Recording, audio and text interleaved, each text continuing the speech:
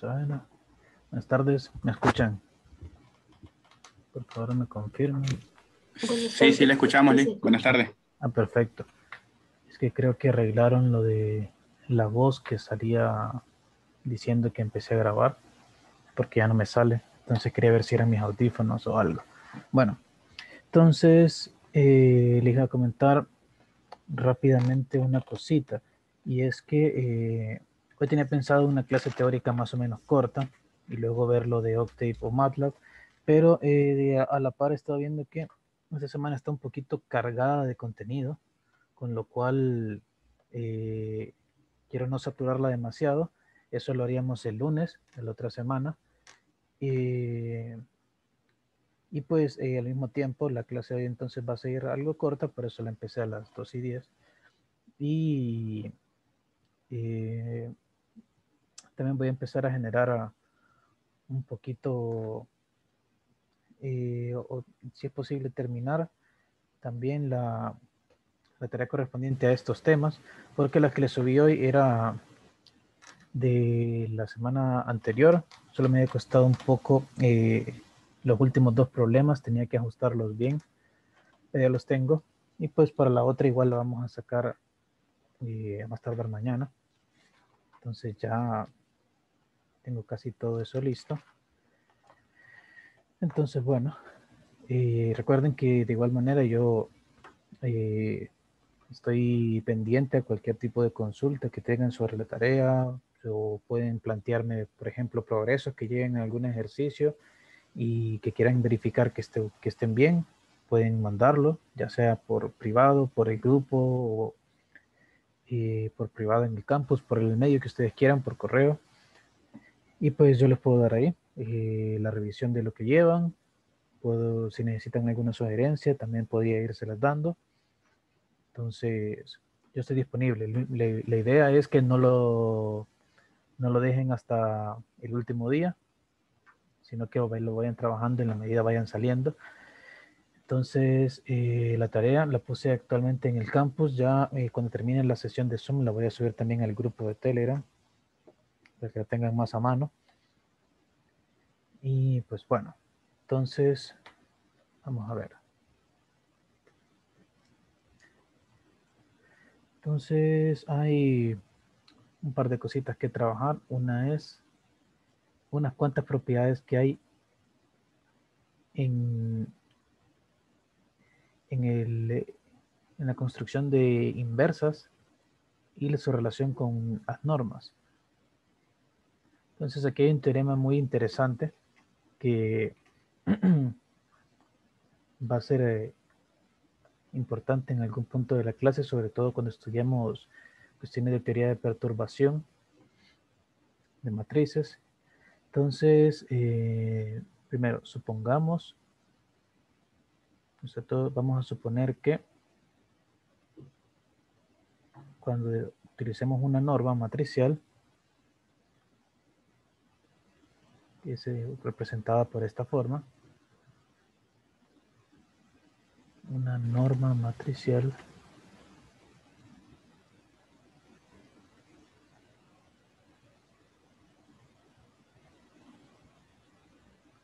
Tal que la norma de la identidad sea igual a 1. En otras palabras, aquí estamos dejando por fuera la norma de Frobenius para todo este estudio, pero sí las normas, eh, las normas subordinadas y cualquier otra norma que cumpla esto. Cualquier otra norma matricial que cumpla esto nos va a servir.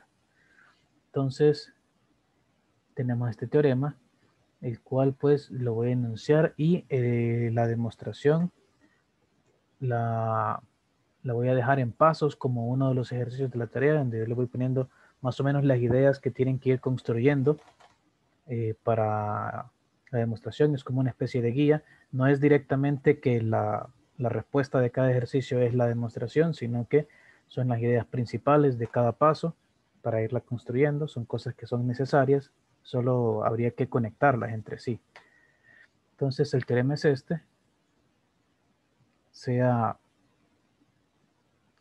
e una matriz tal que la norma de E, esa norma matricial es menor que 1. Entonces, en la matriz dada por la identidad de orden n menos C es invertible. Es decir, esta resta tiene inversa. Y la norma de dicha inversa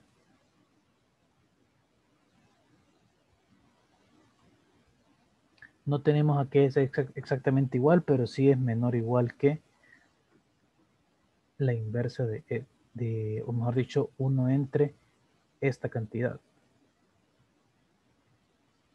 Entonces observen que esto ya no es inverso, esto es un número real, que tengo 1 menos esta norma, y lo cual es un número real, entonces 1 entre eso. Si lo quieren ver de otra forma es exactamente esto. Y tiene bastante sentido porque como la norma de es menor que 1, está, entonces este número de abajo es positivo, con lo cual no hay problema, no genera ningún problema. Generaría problemas si esto fuese mayor que 1. De hecho, si fuese mayor igual, porque si fuese igual a 1 daría un 0 acá abajo, lo cual no estaría definido. Y si fuera mayor daría negativo y eso generaría problema con la definición de norma. Entonces, por eso es necesario que la norma D sea menor que 1. Entonces, como les decía, la demostración va a estar en pasos, o sea, no voy a dejarlo solo demuéstralo como tal, sino les voy poniendo los pasos de qué ideas ir considerando para llegar a la demostración. Y va a estar en la tarea. Pero lo que sí vale la pena mencionar aquí es que, eh, y ustedes lo van a ver también en el desarrollo, que si recuerdan de cálculo 2, si ustedes tenían esto,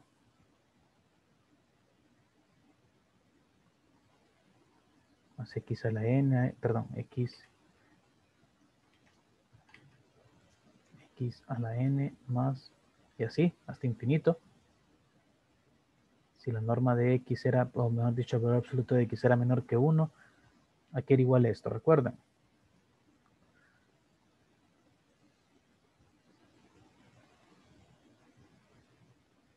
Era 1 entre 1 y menos x. Entonces, esto resulta que también se cumple en el aspecto matricial y eso es parte de la demostración, por eso lo pongo a hacer porque es algo interesante. Y es que si yo reemplazo aquí por matrices, en este caso la matriz sería E, tendría la identidad más la matriz E, más la matriz E cuadrado, más la matriz E cubo, así hasta la matriz E a la N y así seguimos hasta infinito. Esta sería una serie de matrices y pues esto resulta ser igual, dicha serie, a, eh, bueno, no sería 1 entre porque no hay división entre matrices, pero sería la inversa de la identidad que vendría a reemplazar el 1 menos e que viene a reemplazar x. Entonces, esta propiedad de aquí se traduce en esta otra para matrices y resulta que se cumple. Y por eso es que esto va a ser, eh, es por eso va a ser la inversa. Solo hay unas cosas que probar todavía y eso van a estar en detalle en la tarea de esta parte. Pero se los quería comentar porque es bastante interesante. El hecho de cómo esta propiedad del cálculo se puede aplicar a matrices y nos da un resultado interesante. Y eh, junto a este teorema hay otro. Que este no va a aparecer en la tarea de la demostración, pero sí nos sirve para el análisis, y es que si tenemos la misma condición de que la matriz C tiene norma menor que 1, esta condición la pedimos porque si se fijan es lo único, la única condición para decir que esto tiene inversa, que esto se cumpla. Entonces, eh, si esto se cumple, sabemos que esto tiene una inversa, con lo cual tenemos esto. Que uno, bueno, la identidad menos C inversa menos la identidad en norma. Esto es menor o igual que la norma de E entre 1 menos la norma de E. Eso también se puede obtener de aquí, pasando a restar eh, esto al lado izquierdo y luego tomando normas y hay unos pequeños ajustes. De hecho, podemos hacer la demostración a partir de esto. Voy a hacer un bosquejo de la demostración solo para que lo veamos, pero este es el, este es el teorema como tal. Entonces, si tomamos esto como cierto y paso la identidad a restar, tendríamos esto.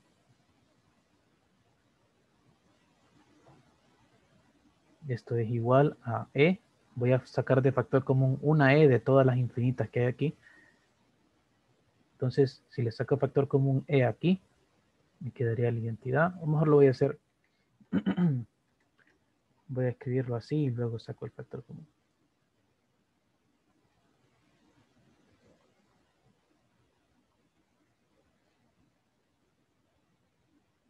Entonces, eh, saco factor común E.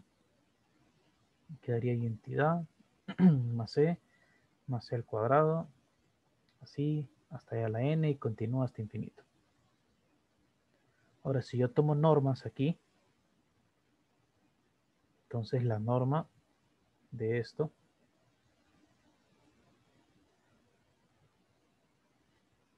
es igual a la norma de este producto.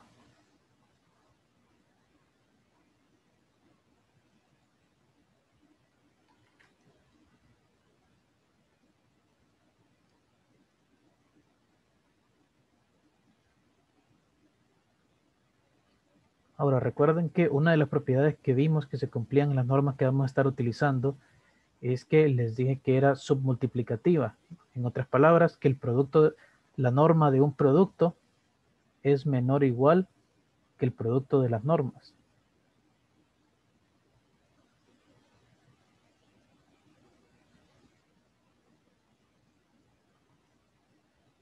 Así hasta la n, así. Eh, la norma del producto es menor o igual que el producto de las normas. Y en el teorema anterior, nosotros teníamos que esto era menor o igual que esto. A ver. Permítanme. Ahí está. Teníamos que eh, esta norma que les dije que está dado por esto es menor o igual que esta cantidad.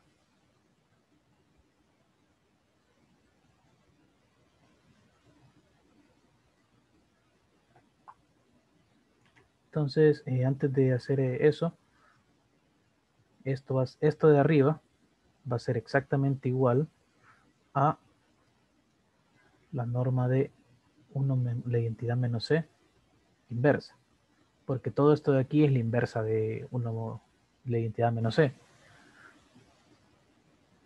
Y ahora sí, esto es menor o igual por el teorema anterior. Esto se queda exactamente igual, lo tomamos como constante y aquí es 1 entre 1 menos la norma de E. En esto está en el teorema anterior, lo que le mostré.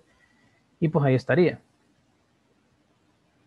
Entonces, uniendo los extremos, tenemos que la norma de la identidad menos C inversa menos la identidad es menor o igual que esta norma, norma de E, entre 1 menos la norma de E. Entonces esta demostración, suponiendo lo del anterior, está, eh, se desarrollaría así. Este sería el bosquejo de la demostración. Digo bosquejo porque hay unas cuantas cositas que agregar, por ejemplo, bueno, prácticamente todas las palabras, es decir, sea E de norma menor o igual que 1, entonces se cumple esto y todo eso. Es como darle el resto de las palabras. Esto fue como solo los y solo los símbolos, por decirlo así.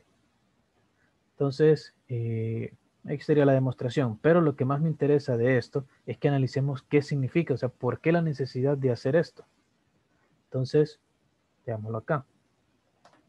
Esto sería como una especie de interpretación que no siempre se hace de los teoremas, pero algunas veces, sobre todo cuando es aplicado algo, resulta ser eh, interesante, y es que nosotros tenemos que, como la norma de es un número, y así entre comillas, porque va a depender de la, de,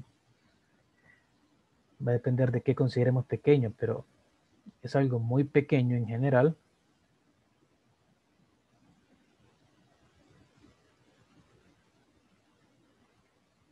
Entonces, 1 menos la norma de E está muy cerca, y aquí también es relativo, de 1. Con lo cual esta, esta norma de aquí es prácticamente menor igual que la norma de E, aproximadamente hablando, porque no es exactamente 1, sino que es casi, un poquito más grande, pero casi. Entonces, vamos a ver. Primero, ¿por qué esta cantidad? ¿Qué tiene interesante esta cantidad de aquí? Entonces, eh, si consideramos a E una matriz de error,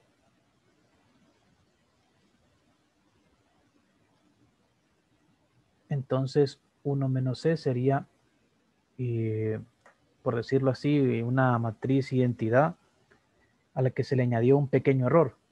Eso se conoce como una perturbación bueno, no, entre paréntesis, sería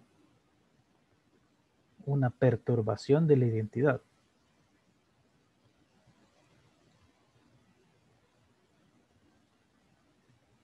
es la matriz de identidad con unos pequeños cambios que por la, como la norma es, es bastante pequeña, entonces eh, casi no modifican la, la, identidad, solo en unos pequeños eh, en unas pequeñas cantidades. Entonces, la cuestión es, cuando nosotros trabajamos en cosas aproximadas, cuando trabajamos numéricamente, siempre es importante tener en cuenta este tipo de matrices, matrices de error, porque si nosotros trabajamos con matrices al final y en cantidades o en situaciones aplicadas, nosotros vamos a tener que muchas veces vamos a tener que hacer aproximaciones.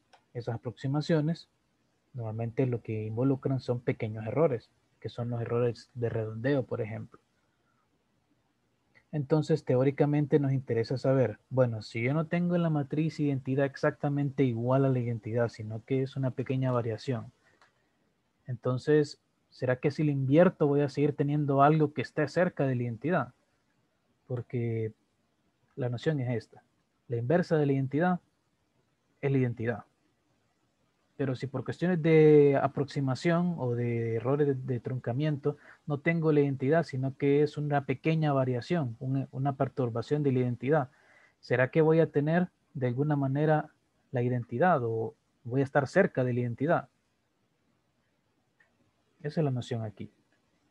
Si yo tengo aproximadamente la identidad, que sería esto, al invertirla voy a estar cerca por lo menos de la identidad. Quizás no exactamente igual, pero por lo menos cerca.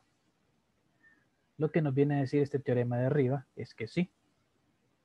Recordemos que la noción de norma es una distancia, con lo cual si yo calculo esta norma, en sí estoy estableciendo una especie de distancia entre esta matriz y esta otra. Entonces aquí en realidad estoy midiendo qué tan largo está esta matriz de esta. Y pues lo que nos da la interpretación es que esto es menor o igual que la norma de E entre, este entre esta otra cantidad.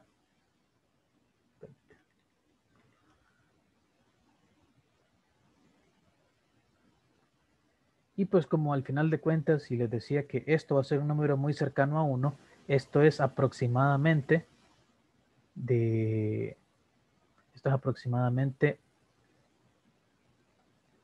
la, norma de, va a ser un poquito más dependiendo de qué tan grande o qué, qué tan cercano a uno sea esto, pero va a ser de este orden. Así como antes en los métodos numéricos llamábamos algo orden 4 porque el error estaba en términos de h a la 4, aquí es por decirlo así de orden norma de E. Entonces, prácticamente lo que nos dice es que la, si yo perturbo la matriz, tengo aproximadamente la identidad y la invierto, entonces no me voy a alejar tanto. Lo que va a determinar qué tan largo estoy de la identidad va a ser esta cantidad, que es la norma de la matriz error. Entonces, si yo introduzco un error muy grande, voy a estar muy alejado. Y si, y si introduzco un error muy, muy pequeño, muy cercano a, cero, entonces el error va a ser muy cercano a cero. Esa es como una interpretación de esto, que puede suceder, por ejemplo, y que en lugar de tener una matriz identidad, una de orden 3, digamos que aquí tengo 1, tengo 1 y tengo 1, como la matriz identidad. Aquí tengo 0, 0, 0, 0, 0, y aquí no voy a tener 0, sino que tengo, por ejemplo, menos 1.7 por 10 a la menos 16. Eso no es la matriz identidad pero es una pequeña perturbación porque esto lo puedo escribir como la identidad menos 0, 0, 0, 0, 0, 0, 0, 0 y aquí 1.7 por 10 a la menos 16. Pero lo que yo quisiera es, bueno, menos 10, un, por 10 a la menos 16 es algo que ya está rozando los errores de redondeo. Esperaría que si yo hago la inversa de esta matriz, me quedara eh, la matriz identidad o por lo menos algo parecido a la matriz identidad. Quizás la inversa nos quedara, por ejemplo, así.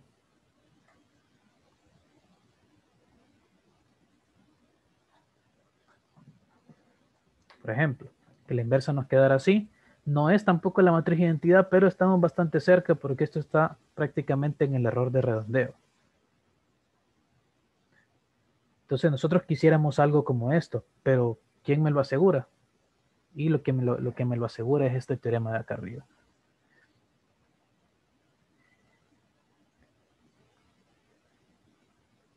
Este teorema de aquí.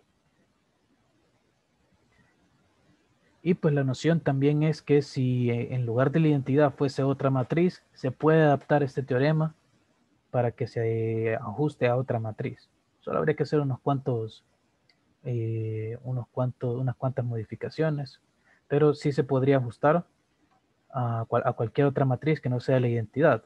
Entonces necesitamos un teorema base para plantearlo ahí y luego eh, hacer las modificaciones. El caso es que este es el que nos interesa en sí para ese análisis. Entonces, este teorema tiene altas implicaciones eh, numéricas, como esta que les mencionaba acá, Y pues si bien es cierto, esta no es la matriz de identidad, por lo menos la inversa nos quedó algo cerca. ¿Y qué tan cerca nos quedó de la identidad? Bueno, esta es como una identidad gorrito porque es aproximada. Esta es la inversa. Entonces nos quedó la identidad. Y más en este caso, esta otra matriz.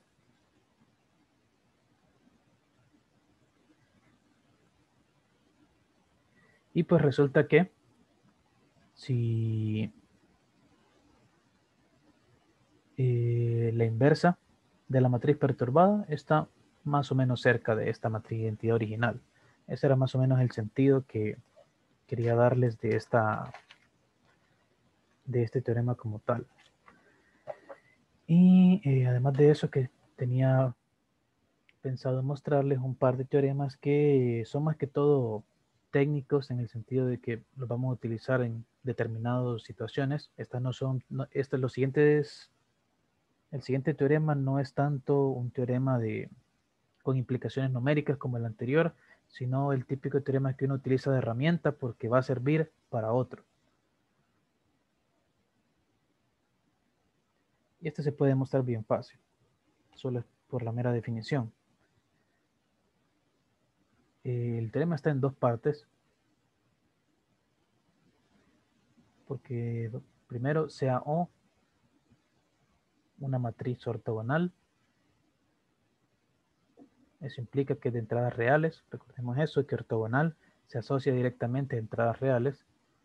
Entonces, tenemos tres cosas. Primero, la norma de una matriz ortogonal, norma 2, es igual a 1. La norma de A, la norma 2 de A por una, una matriz cualquiera A por O, norma 2, es igual a la norma 2 de la matriz. O sea que si yo tomo una matriz cualquiera y la multiplico por una matriz ortogonal, la norma no cambia. Y por último, esto también sucede en la norma de Frobenius.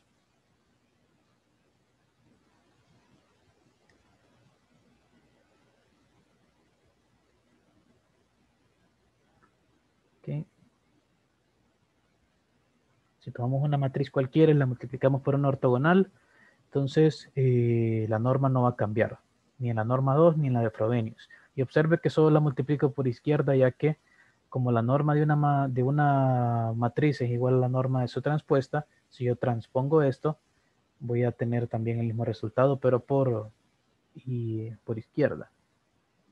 Entonces, ya sea a la izquierda o a la derecha que lo multipliquemos, la norma de la matriz no va a cambiar. Y eh, la segunda parte es la contraparte compleja, que si U es una matriz unitaria, si sea U una matriz unitaria,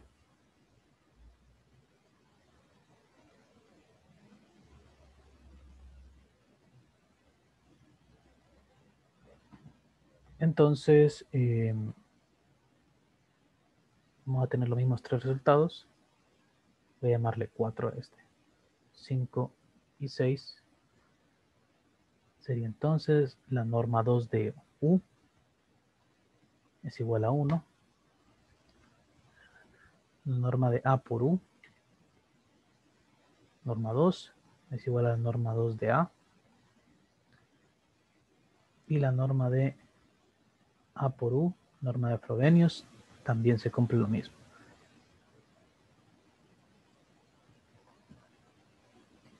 Entonces la demostración no la voy a dar como tal porque es bien sencilla. Solo les voy a dar la donde radica eh, principalmente la demostración. Y es que la norma 2 y la de Frobenius están relacionadas con una cosa, que ambas, para de, en una de sus formas de calcularse, ambas involucran este producto.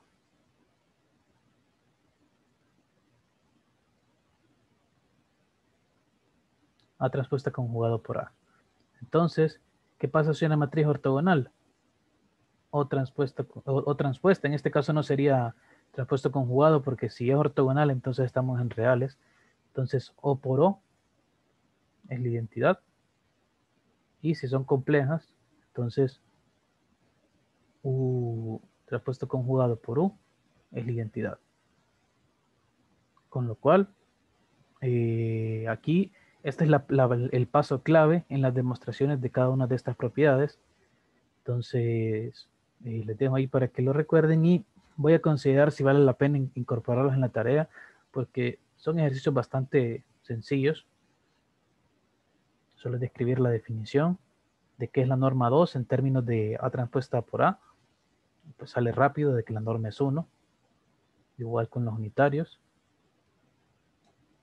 Y aquí solo habría que hacer un, pequeño producto aquí. Que haría AO transpuesto conjugado por AO. Y se arreglan, eh, se arreglan las, como quedan las matrices y ya estaría. Mm. Ok. Entonces, vamos a ver.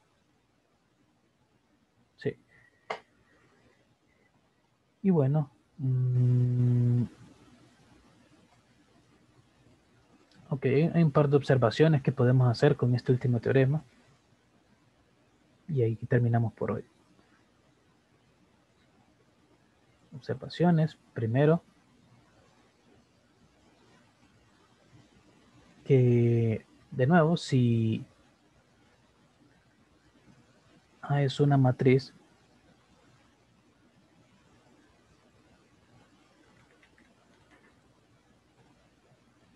y se contamina con cierto error,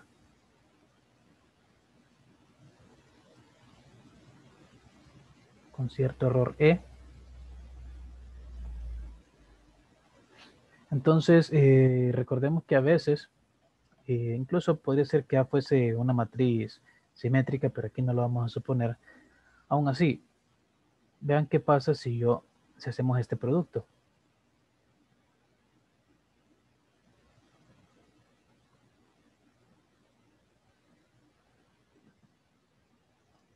Entonces aquí estamos multiplicando a la matriz A con la contaminación del error por la matriz U que es unitaria. Aquí no lo puse, pero con la matriz U que es unitaria. Entonces, eh, ¿en qué tanto afectaría este error al producto? Entonces, eh, resulta que esto sería igual a U por A, perdón, por U transpuesta conjugado más eh, U por E por U transpuesto conjugado, lo cual vamos a resumir como F, porque este es como un nuevo error de lo que debería de quedarnos. Este es como el error antes de multiplicar y este es como el error después. Entonces, en términos de magnitud, de saber qué tan grande es ese error, y entonces veamos, si yo multiplico por matrices unitarias, ¿qué tanto me modifica el error o qué tanto se modifica o qué tanto error voy a obtener después de haberlo multiplicado. Entonces, eh, vemos que la norma de f sería en este caso la norma 2, porque es la que utilizamos antes en el teorema, sería igual a la norma de u por a, perdón, por e por transpuesto conjugado, norma 2. Y pues resulta que, como escribimos acá arriba, esto va a ser igual a la norma de E por U, transpuesto conjugado, porque U es unitaria. Y resulta que eh, es una propiedad que esa sí va a estar en, en la tarea a comprobar.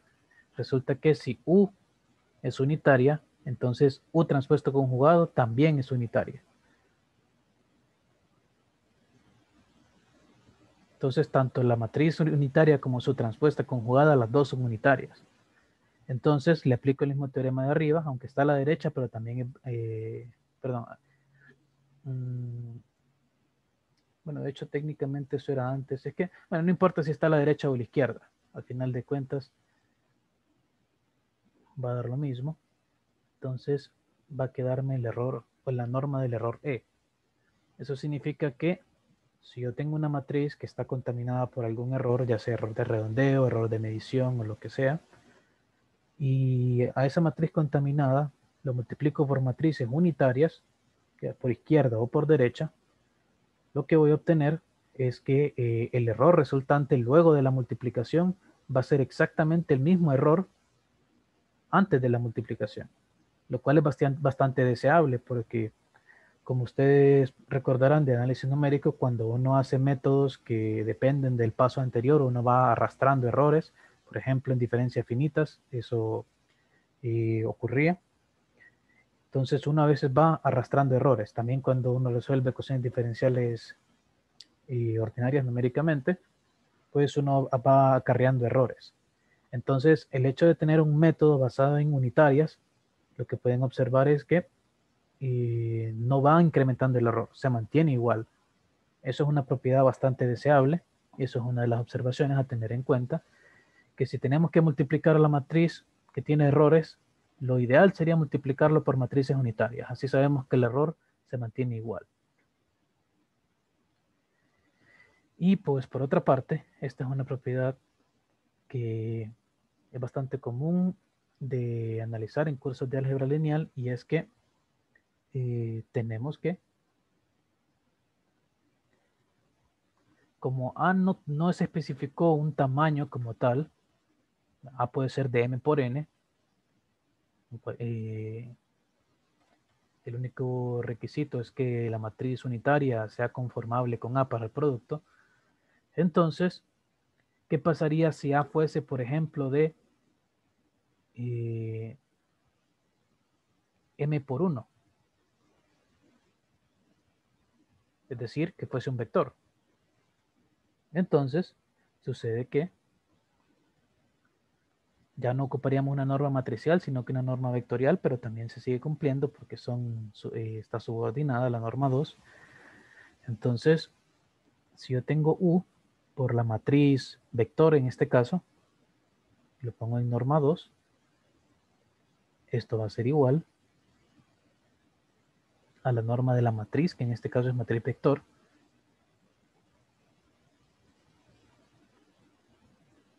Y también está la contraparte en caso de que se multiplique por la izquierda. El único detalle es que como tiene que ser conformable para el producto, entonces el X va a estar transpuesta. No hace falta que esté conjugado, solo transpuesta. Y por U va a ser la norma de X transpuesta, que sabemos que es la misma norma de X.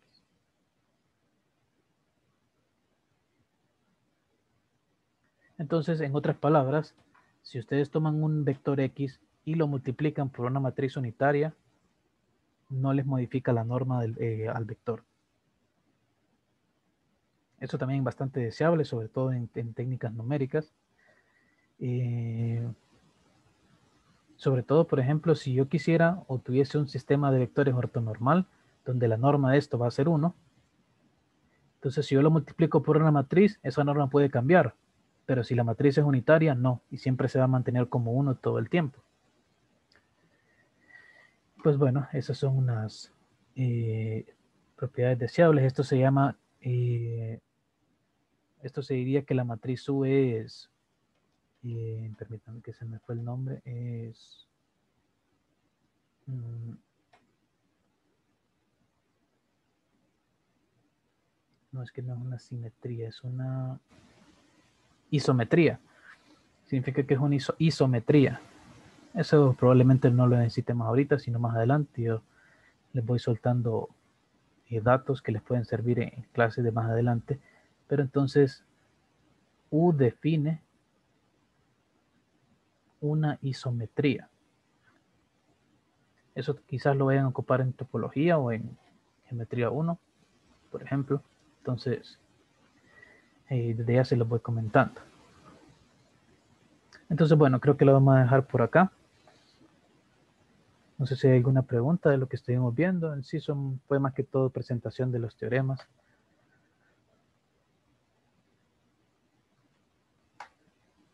entonces, creo que estamos bien.